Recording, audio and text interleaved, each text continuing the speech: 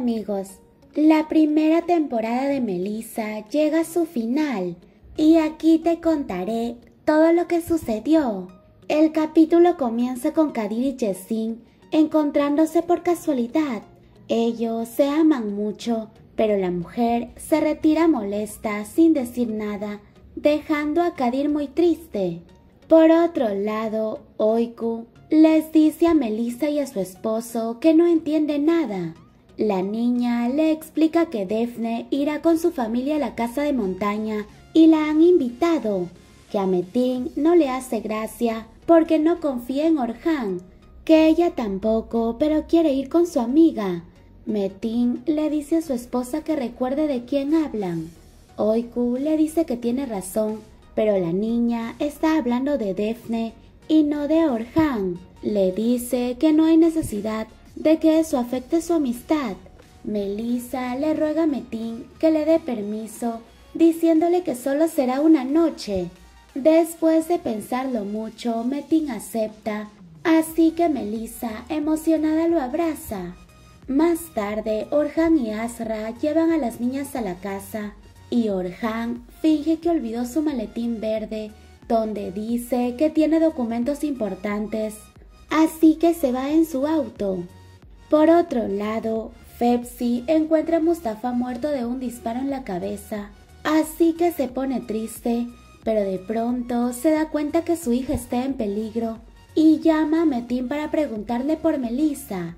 Él le cuenta que la niña ha ido con una amiga de viaje, por lo que Fepsi pregunta con quién.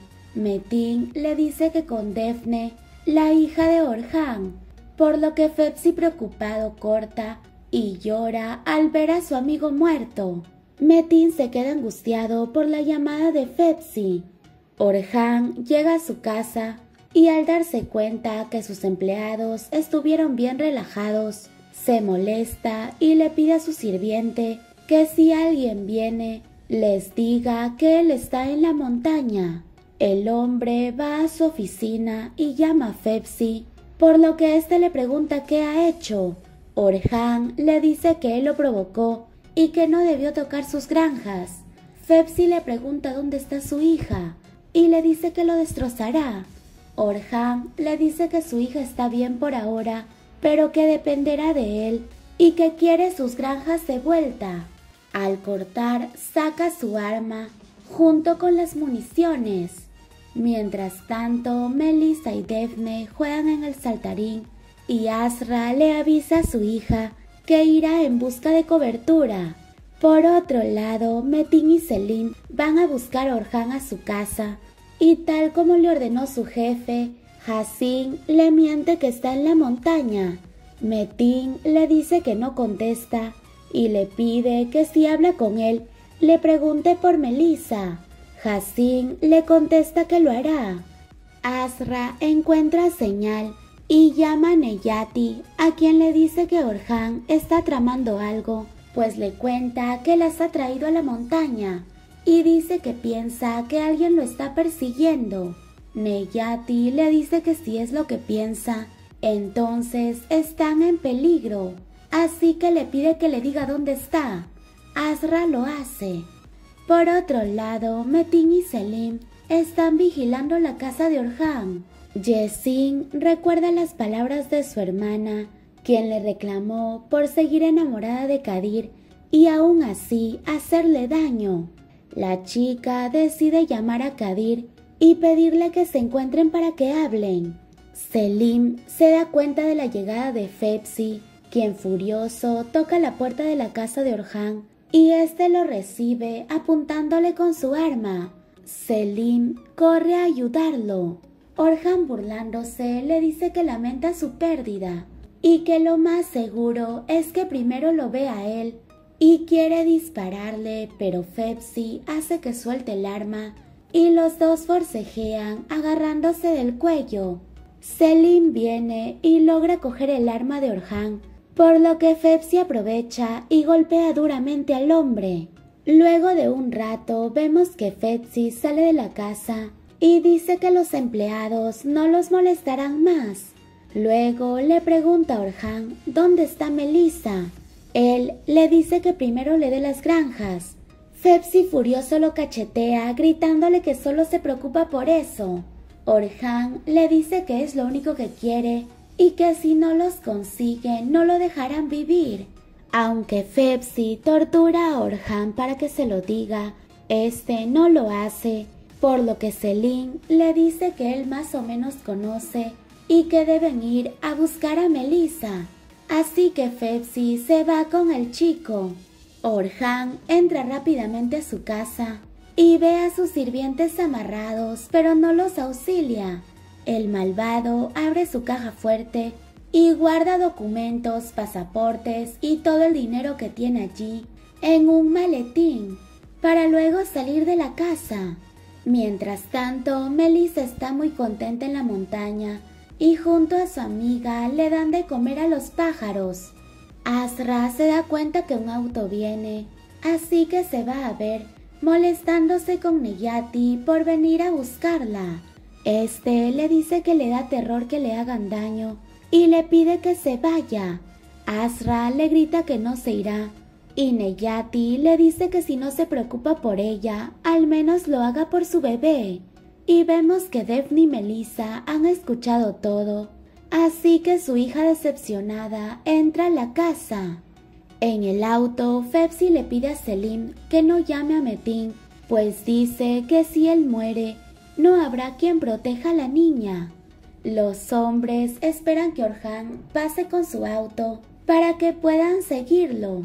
Mientras tanto, Metin está preocupado, pues no encuentra a Selim y tampoco contesta sus llamadas. Como encuentra la puerta abierta de la casa de Orhan, entra y encuentra a los sirvientes amarrados. Hassin le cuenta que la mafia está buscando a Melissa, por lo que Metin se preocupa muchísimo y pregunta por la dirección de la cabaña. Cuando se la dan, el hombre sale corriendo del lugar. Por su parte, Defne muy molesta dice que quiere irse. Asra le dice que ha sido un malentendido, pero Defne no quiere escucharla. Melissa recibe la llamada de Metin, pero la señal se va, así que la niña sube al segundo piso. Metin le pregunta dónde está y la niña le explica cómo llegar al lugar, pero nuevamente la señal se va y no logran hablar más. Afuera, Orhan llega y se da cuenta que Neyati está allí. Selin y Fepsi llegan también, mientras Astra le pide a su hija que se calme y le grita a Neyati que todo es su culpa. Orhan molesto llega y le pregunta a Neyati qué hace allí Defne le da la noticia que su madre está embarazada y Orhan se sorprende, pero piensa que el padre es Nayati. Fepsi y Selim ingresan a la casa mientras los mafiosos se van acercando al lugar. Fepsi le dice a su hija que tienen que irse, pero Orhan le dice que no irán a ninguna parte mientras no le dé sus granjas.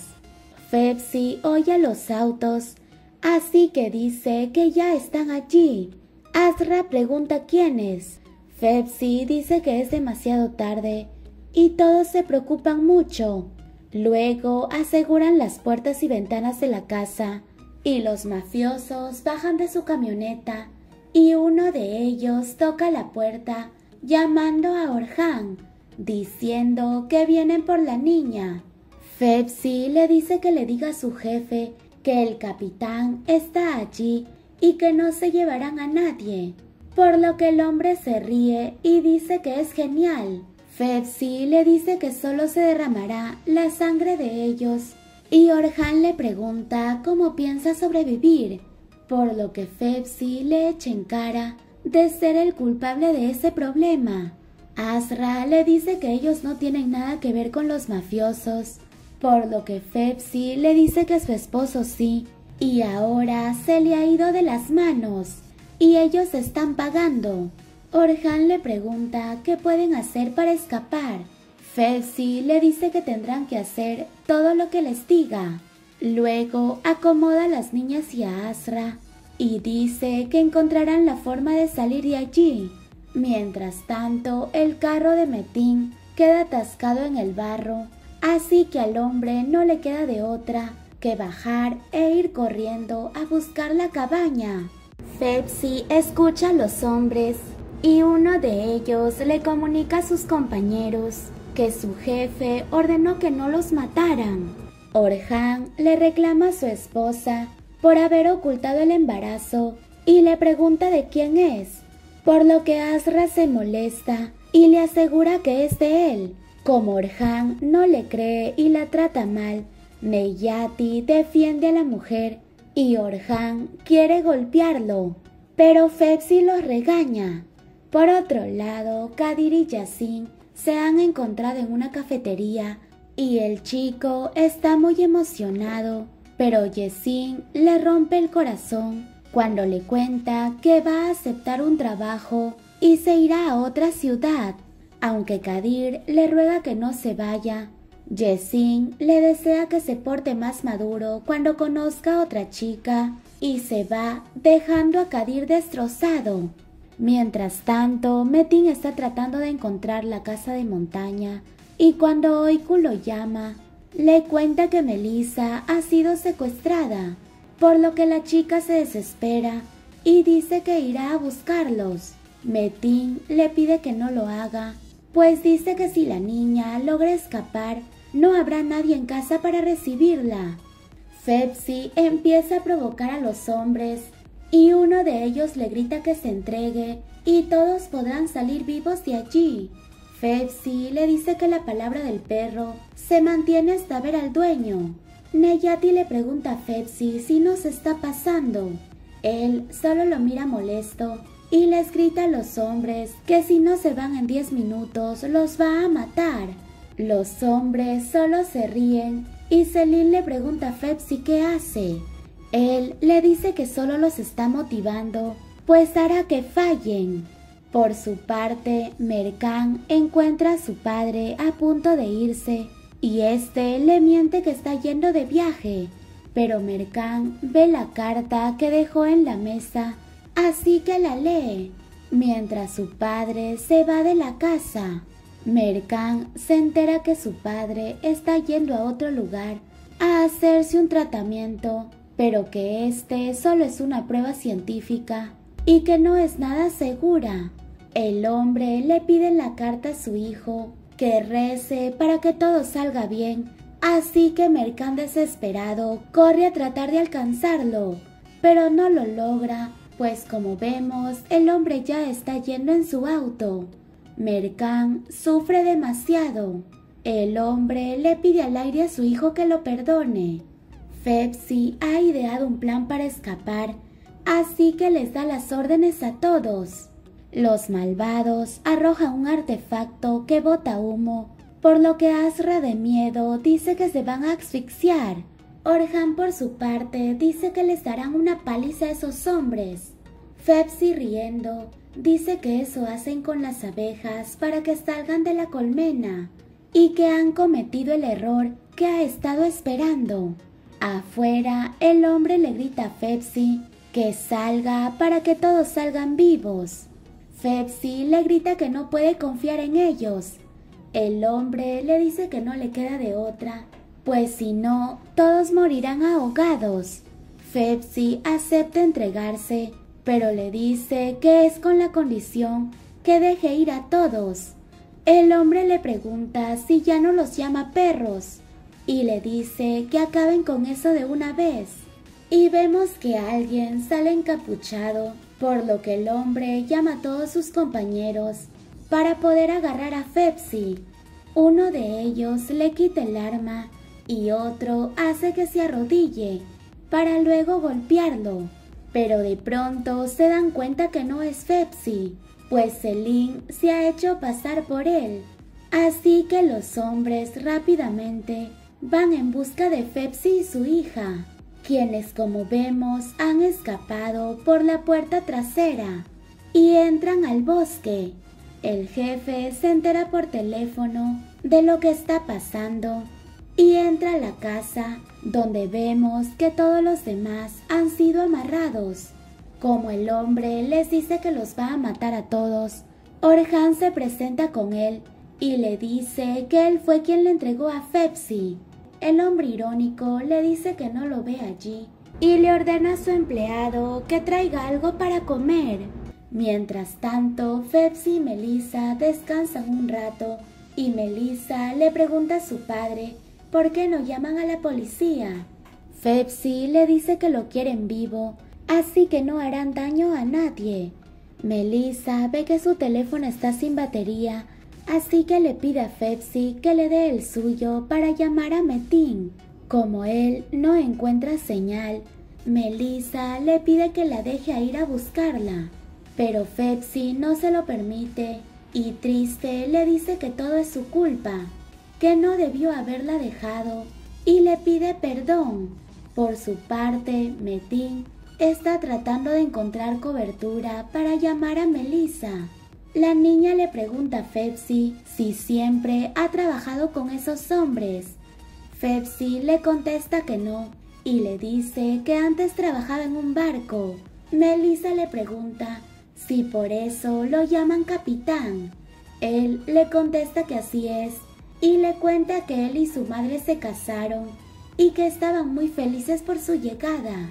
Que una vez unos hombres le pidieron alquilado su barco y que pagaban muy bien, por eso aceptó, que lo hizo varias veces, pero que una vez vio el cargamento y no le gustó. Melissa le pregunta qué era Fepsi le dice que a ella tampoco le gustaría y le cuenta que un joven estaba a cargo y que discutieron, que como lo atacó intentó defenderse y Melissa le pregunta si lo mató. Fepsi le contesta que no, pues dice que hasta ese día no habría hecho daño ni a una hormiga. Le cuenta que en el forcejeo el hombre cayó al mar, que fue un accidente y que su padre es uno de esos tipos. Melissa le pregunta qué pasó con el chico. Fepsi le cuenta que no lo encontraron y su padre para vengarse. Melissa lo interrumpe y dice que su mamá. Fepsi le cuenta que lo encerraron en un cajón parecido a un ataúd. Melissa le pide que no le cuente más, pero Fepsi le dice que debe saber que él no es una mala persona y que le dijeron que las dos iban a morir y que no pudo salir de allí a pesar que gritó y dio golpes. Y cuenta llorando que le dijeron que no podría impedir que las mataran, que no podría impedir la muerte de ellas. Melissa también llora y Fepsi le cuenta que se rompió hasta las uñas para salir de allí y que rogó que lo mataran a él pero el hombre le dijo que como perdió a su hijo, él iba a sentir ese dolor. Melissa le pregunta qué pasó después. Fepsi le dice que empezó a ser como su enemigo, para acabar con todos los que le arrebataron a su familia, que no volvió a amar nunca y que se unió a ellos solo para destruirlos y evitar que hicieran daño a otros niños, pero que dejó de ser solo una venganza pues quería reventar el castillo. Melissa le reclama por hacer daño a mucha gente de Karakiris, por lo que Fepsi le dice que sin ensuciarse las manos no se puede limpiar. Melissa le dice que Metin debe estar preocupado y Fepsi le dice que ni bien oscurezca, buscarán señal para llamarlo. Melissa le pregunta por qué no llaman a la policía el hombre le dice que tiene que ocuparse de otro asunto personal, pues le dio su palabra a Mustafa. Luego se va a buscar leña, dejando sola a Melissa, quien aprovecha en correr a buscar señal. Por otro lado, Metin llama a su esposa, pero lamentablemente la señal se va y no logran comunicarse. Fepsi vuelve con la leña y al no encontrar a Melissa reniega. Mientras tanto, la niña encuentra señal, pero al llamar a Metin, la operadora la manda a buzón, por lo que la niña llama a Oiku, quien le da la noticia que Metin ha ido a buscarla a la cabaña. Melissa asustada le cuenta que unos tipos armados han ido a ese lugar y que Metin no debe llegar allí. Oiku llama a su esposo pero no logra contactarlo, así que le dice a Melissa que le dejará un mensaje y le pide que le cuente todo. La niña lo hace contándole también que quieren matar a los demás rehenes. Oiko asustada le pide que vuelva a casa, pero la niña pregunta qué pasará con Metin. Oiku le dice que intentarán contactarlo desde allí, pero le pide que vuelva. La niña no le hace caso y decide ir en busca de Metin. Así que Oiku desesperada llama a la policía y denuncia lo que está pasando. Mientras tanto, vemos que Melissa llega a la casa y Fepsi y Metin también lo hacen. Melissa es atrapada por uno de los hombres y Metin escucha sus gritos desde lejos, mientras Fepsi va deshaciéndose de algunos hombres y la niña es llevada con los demás rehenes. El jefe se alegra de verla y le dice que gracias a ella Fepsi se va a arrodillar ante ellos.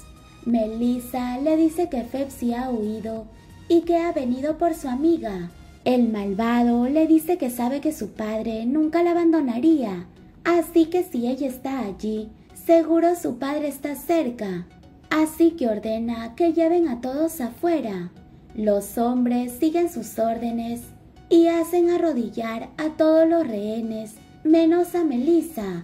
El jefe le grita a Fepsi que se deje ver, pues tienen a su hija, que salga de una vez, por lo que éste se muestra trayendo dos armas, y el jefe le dice que no tendrá una muerte fácil. Fepsi le contesta que lo ha oído muchas veces, pero el jefe le dice que él fue el primero en decírselo. Le ordena que baje las pistolas. El hombre decide hacerlo y mientras tanto Metin observa todo desde lejos y como ve a Melissa siendo apuntada, corre tratando de rescatar a la niña, pero de pronto es disparado por el jefe y se inicia una balacera. Fepsi logra matar al malvado jefe, mientras Melissa desesperada le pide a Metin que no la deje.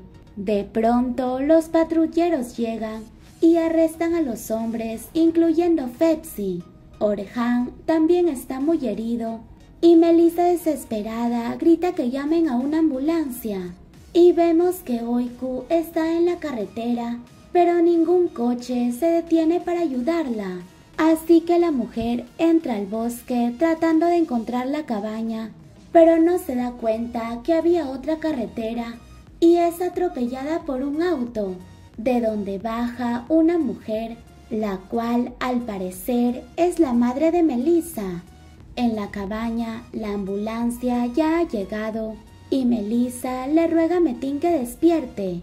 Fepsi está a punto de ser subido al patrullero, así que mira fijamente a Melissa y la llama por su verdadero nombre, que es Sure.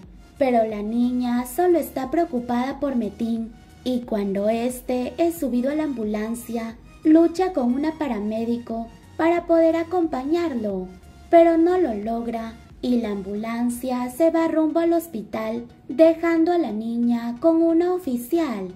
Melissa se queda destrozada sin saber qué hacer.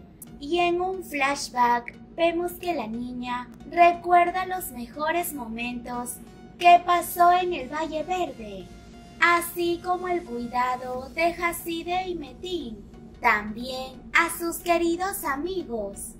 Y tú dinos, ¿crees que Metin sobreviva? ¿La mujer será la madre de Melissa? Déjanos tus comentarios y suscríbete al canal.